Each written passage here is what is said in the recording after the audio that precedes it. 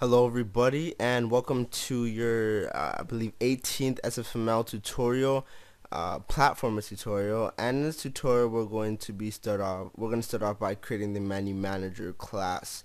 And as you guessed it uh, helps manage creating windows. I mean menus. Oh my gosh sorry. Okay so this class is going to be called menu manager and uh, what we're gonna do now is we already created a file named menus uh, and if you haven't then uh, create one right now. And there's a few attributes that we're going to be loading in okay? So we're going to be loading the position the axis uh, the animation and uh, for the position right now we're just going to put it at 100 and separate it by a comma or any other separator you want to but I'll do a comma uh, the animation and last but not least we'll put align. And align won't be used this tutorial but hopefully we'll, uh, we'll get around to it. And right now I'll just put it to none. And the line is basically what, what we're going to use in case if the person doesn't want a position so they set the position to none or something or they set the position to a negative value or something uh, then what's gonna happen is that if we set our, our line to like say center or something what it will do is it will align every single um, menu item to be um, centered um, whether it's in the y-axis or the x-axis uh, or if you want to be left um, towards the left hand side or, or right centered or whatever right? So you want a precise value for all of them then that's what a line will be used for. Uh, so I'll just give you kind of insight on how that works so a menu item can either be an image or it can be an item. So for now, we're not going to use images, uh, but I will. I don't think for none of, for the menus, I don't think we're going to be using any images, but I will show you how to incorporate images. Now, because I'm going to be showing you how to incorporate images, it will uh, the two the series will last a bit longer because I will have to do more code in order to uh, for to compensate for both, but uh, I guess will be worthwhile in the end. I guess so you have more flexibility. Uh, so we have our start and end commands, and we have our loading our menu items, and we have our properties and stuff like that. Uh, so what we're gonna do is we're gonna have our basic uh, functions that we need. So load content. Uh, we have unload content. We have update and what we gotta do is include a, a bunch of stuff so SFML graphics.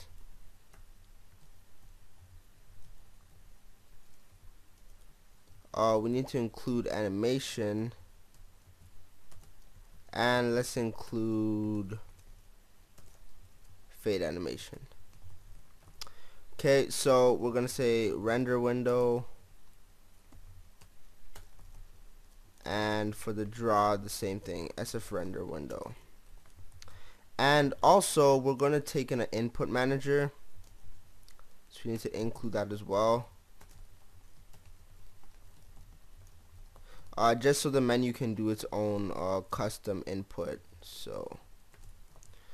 Okay uh, so in the private section what we're going to need to have is uh, we're going to have to have our two-dimensional vector.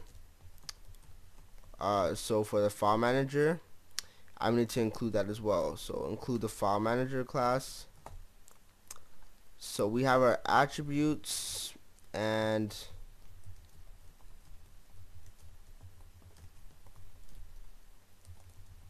our contents. So now let's just make an instance of the file manager class and we'll name it like that uh, so what we're to need is we're to need uh, a bunch of stuff. So we need a, a uh, std vector of a 2D vector of animations. And we'll make that a pointer. Uh, we'll make a temp animation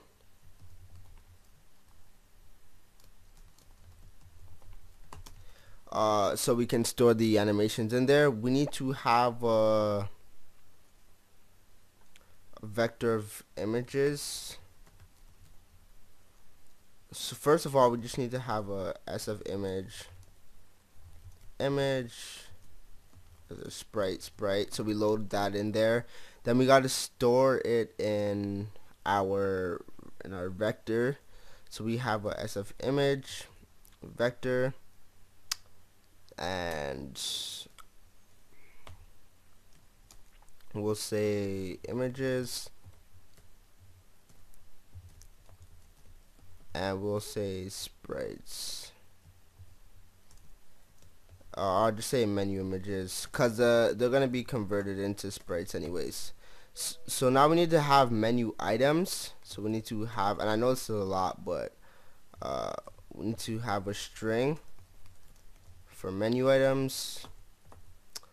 And we need to have a SF vector 2f for position. We need to have a float for the or int for the axis.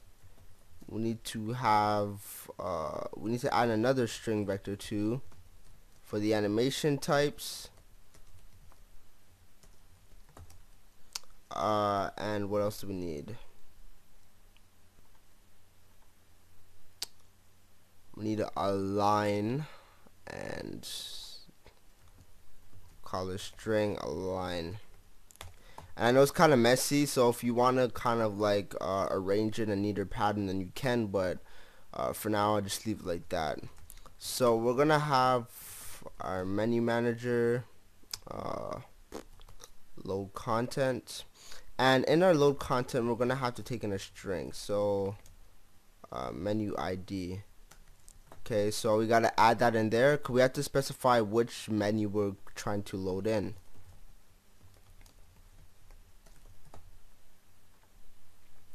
Uh, so what we're gonna call our file dot load content and the file name is gonna be load slash menus dot cme we put in our attributes our contents and last but not least our menu ID so we're using that overload that we created. So now we gotta make uh, our two for loops.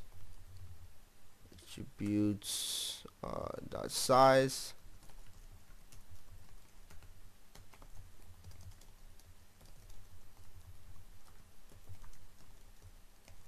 And this should all be familiar to you. And just going we're just gonna make a string. Uh, that's gonna store the current attributes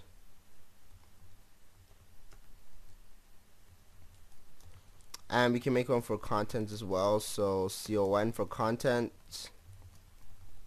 And we store the contents i and j. So what we're gonna say is so let me move this up. So we're gonna say if attributes is equal to item uh, then we're gonna have to store the menu item so we're gonna say uh, menu items dot push back our contents. Simple. So else if att is equal to image.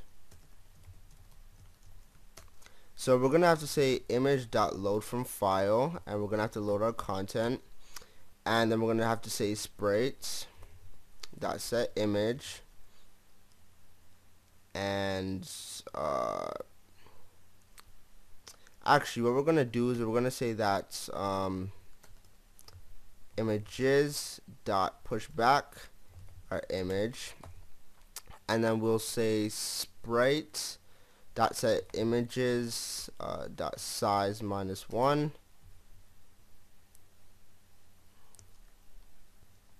Sorry. The images images dot size minus one.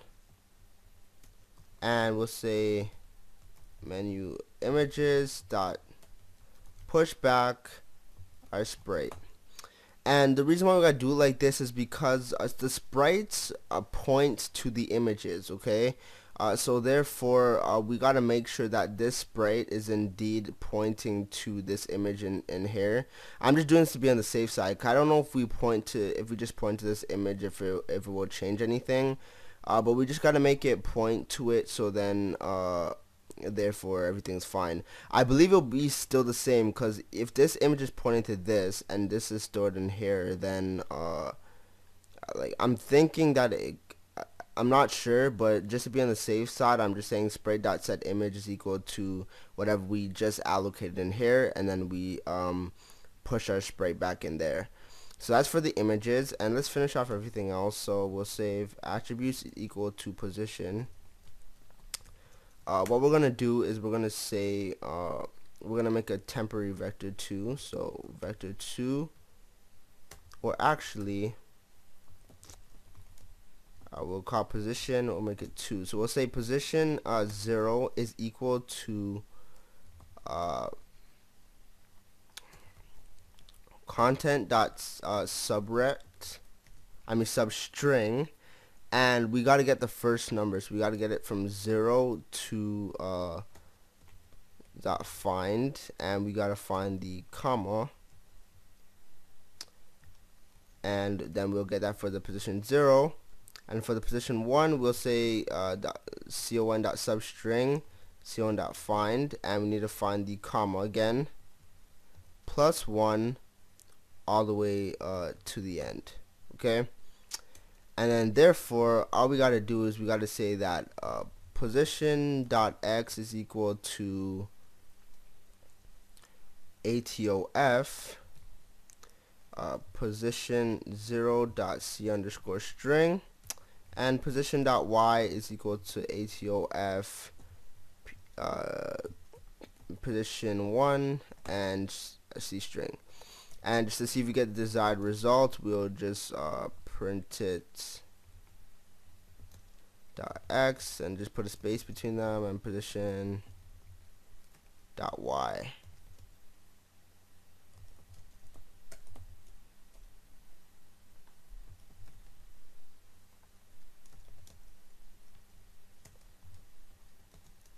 Okay uh, and I think I'll, and you know what, let's see if we can add in one more. So we'll say that if attributes equal to align, uh, then we simply just say uh, align is equal to our content. Now I'm to end it here and then we'll finish off the rest of this loading in and doing the rest of the stuff we need to do in the next tutorial. So I hope you enjoyed it. Thanks for watching and bye.